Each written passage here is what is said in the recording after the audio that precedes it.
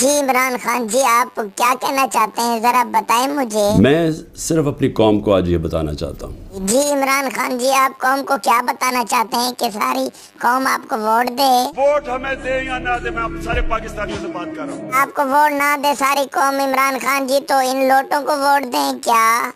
कभी इन लोटों को सारी ज़िंदगी वोट नहीं देना इन लोटों को इमरान खान जी सारी कौम वोट आखिर क्यों ना दे? ये लोग कैसे हैं आपकी नज़र में? जिनका ना कोई दीन है ना ईमान है ना उनमें शर्म है। इमरान खान जी आपको ज़्यादातर किन लोगों से नफरत है? जरा मुझे बताएँ। जिन्होंने अपने आप को बेचा अपने जमीरों को बेचा। ये मुल्क किसका है इमरान खान जी? और ये सारे लोग किसके हैं? जरा मुझे बताएँ। ये मेरा मुल्क है।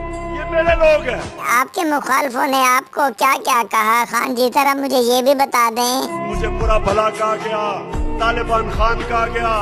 अच्छा इमरान खान जी मुझे और अवाम को आप साफ़ साफ़ बताएँ और किन किन लोगों को हम लोग वोट ना दें? जिनके लीडर्स के पैसे जायदादें मुल्क से बाहर पड़ी हैं कभी उनको वोट ना दो। इन लोगों को आखिर हम वोट क्यों ना दें? खान जी जरा हमें साफ़ साफ़ बताएँ ना आप। क्योंकि ये अपने पैसे के गुलाम हैं। और पैसे बाहर पड़े हुए हैं इनके। अब ये लोग इलेक्शन क्यों करवा रहे हैं खान साहब? आखिर किसका फैसला है ये? सुप्रीम कोर्ट का फैसला आ गया है। इमरान खान जी इस इलेक्शन में अवाम आखिर किसका सोचे?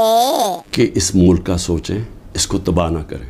और खान जी जो पाकिस्तान के यंग हैं नौजवान हैं उनसे आप क्या कहना चाहते हैं? वो स्टडी करें वो तारीख का हिस्सा है। आपको खान जी हराने के लिए कौन सी जमातें इकट्ठी हो गई हैं इस टाइम आज दोनों बड़ी जमातें इकट्ठी हो गई हैं।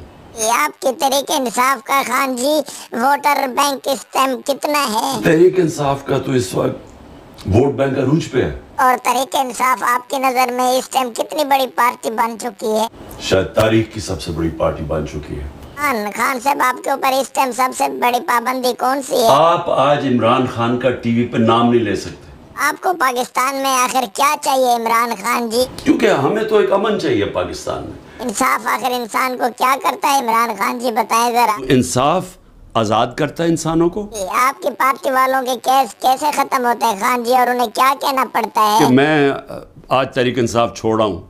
अब वो- आपको आखिर वज़ीर आज़म की सीट से क्यों हटा दिया गया है? इसकी क्या वजह थी खान जी बताएँ जरा। साजिश थी और इंशाल्लाह ये साजिश आएगी सामने। कि आपके मुखालिफिन ने आपकी पार्टी को क्या पहुँचाने की ज़्यादा कोशिश की? तहरीक इंसाफ को प्लान करके ख़त्म करने की कोशिश की। है खान जी आप कहते रहते अक्सरियत हमारे साथ है। ये अक्सरियत का क्या मकसद होता है? ये तो मुझे समझा दें आप। अक्सरियत का मतलब सत्तर अस्सी फ़ीसद पब्लिक आज इसके साथ खड़ी है। अगर आप सियासत में ना आते इमरान खान जी तो आज हुकूमत कौन कर रहा होता? नवाज़ शरीफ और जरदारी या इनके बच्चे। ये आपकी हुकूमत गिराने में इमरान खान जी ज़्यादा फ़ायदा किसको हुआ है आखिर? ये जो आज ऊपर बैठे हुए हैं, इनको फ़ायदा हुआ है।